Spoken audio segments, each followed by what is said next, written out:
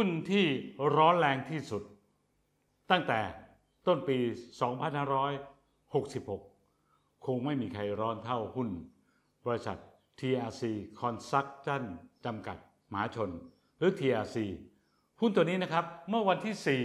4 มกราคมที่ผ่านมา ยังย่ำอยู่แถว 28 สตางค์หลังจากนั้นเนี่ยราคาทะยานขึ้นมาตลอดนะครับ จนขึ้นมา 200%เมื่อวันที่ 6 กุมภาพันธ์ที่ผ่านมา มาปิดที่ 84 สตางค์และจากมูลค่าการซื้อขายซื้อขายกันบางบางตานะครับ บางคนเออ TRC หุ้นอะไร ไม่รู้จักเลยซ้ำไป ไม่ได้อยู่ในกระแสความนิยมของนักลงทุน ซื้อขายกันเบาบางวันหนึงประมาณล้านหรือไม่กี่แสนบาท แต่ล่าสุดนะครับเคาะกันร่วมสิบวันล้ววันละสี่ห้าร้อยล้านบาท เขาเล่นอะไรกันกับหุ้น TRC ก็มีข่าวลือว่าบริษัทจะร่วมทุน ในโครงการเหมืองโปรแตสที่จังหวัดชัยภูมิครับ มีบริษัทพลังงานบริสุทธิ์จำกัดมหาชนหรือ EA แล้วก็ทุนจากมาเลเซียมาร่วมด้วย ข่าวชิ้นนี้นะครับ เป็นตัวขับเคลื่อนให้ TRC วิ่งมาแรงเลย จากราคาที่ย่ำฐานกันมาเป็นเป็นปีอะสามสิบยี่สิบกว่าสตางค์สามสิบกว่าสตางค์สี่สิบสตางค์ตอนนี้พรวดขึ้นมา จนตลาดหลักทรัพย์นะครับ จับตามอง มาพักหนึ่งแล้ว แล้วเคยสอบถามเรื่องข่าวลือ การร่วมลงทุนบริษัทในเมืองโปรแตส ที่ชัยภูมิ ซึ่งบริษัทไม่ได้ปฏิเสธนะครับพียงแต่ชี้แจงว่าอยู่ระหว่างการพิจารณา และต้องเป็นไปตามขั้นตอนของกฎเกณฑ์ที่เกี่ยวข้อง คือไม่ได้ปฏิเสธ ตอบรับไกลๆด้วยซ้ำไป และต่ทรัพย์นะครับ เห็นความร้อนแรงบริษัทชี้แจงมายังไม่มีความชัดเจน ก็เข้าเงื่อนไขนะครับ ทั้งราคาทั้งมูลค่าการซื้อขายไม่ปกติใช้มาตรการกำกับการซื้อขายขั้นที่หนึ่งโดยกำหนดให้ต้องซื้อหุ้นด้วยเงินสด หรือเครดิตแปดล้าน เท่านั้น ราคาหุ้นนะฮะนี่ประกาศใช้นะครับ มาตรการกำกับการซื้อขาย หลังปิดการซื้อขายหุ้นวันที่ 6 กุมภาพันธ์ที่ผ่านมา วันที่ 7 TRC เป็นยังไง แผ่วครับ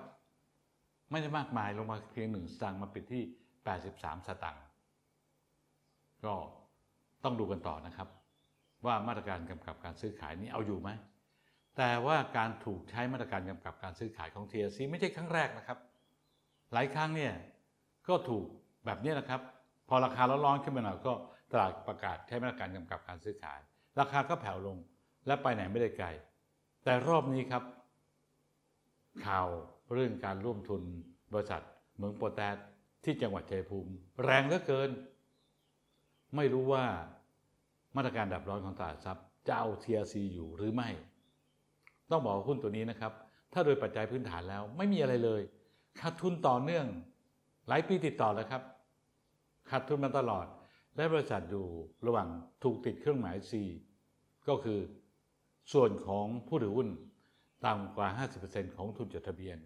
ซึ่งถูกติดเครื่องหมาย C ตั้งแต่วันที่ 17 พฤศจิกายน ปี 2563 3 ปีมาแล้วนะครับ ยังไม่ถอนยังแก้ปัญหาไม่ได้ แล้วเขาบอกว่าแม้จะมีโครงการร่วมทุนในเหมืองโปรแตสที่ชัยภูมิ แต่การเข้าร่วมทุนเนี่ยต้องใช้เวลา และ TRC ต้องแก้ปัญหานะครับ เพราะว่ามีหนี้สินจำนวนมาก ฐานะทางการเงินก็ไม่มั่นคงแข็งแรง ดังนั้นเนี่ยข่าวชิ้นนี้นะฮะการร่วมทุนข่าวหรือชิ้นนี้ อาจจะจริง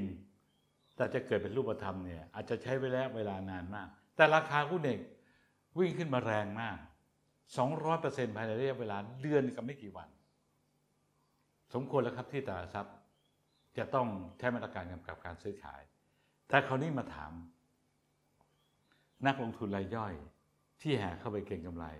และแม้จะเป็นหุ้นตัวเล็กนะครับจำนวนผู้ถือหุ้นรายย่อยเนี่ยไม่น้อยเลยนะครับ14,198ราย ก็มาลุมาลุมมาตุ้มเข้าไปเก่งกำไรกันคำถามคือว่า ราคาหุ้น TRC ที่ 83 สตางค์จาก 28 สตางค์วันที่ 4 มกราคมที่ผ่านมา ราคาขึ้นมารับข่าวดีมากเกินไปหรือยัง ถ้า ราคามาแรงเกินไปแล้ว นักลงทุนที่จะตามแห่มาลุมมาตุ้ม เก่งกำไรแลกหมัดปั้นดวง ต้องระวังครับ ต้องถือว่าข่าวดีเนี่ยจะมีจริง แต่ยังไม่เกิดขึ้น และจะเกิดขึ้นเมื่อไหร่ไม่รู้นักลงทุนที่ตามแห่เข้าไปลุยทีซีก็พิจารณาให้รอบคอบครับตลาดหลักทรัพย์ส่งสัญญาณเตือนแล้วว่า การซื้อขายหุ้นตัวนี้ร้อนแรง ผิดปกติครับ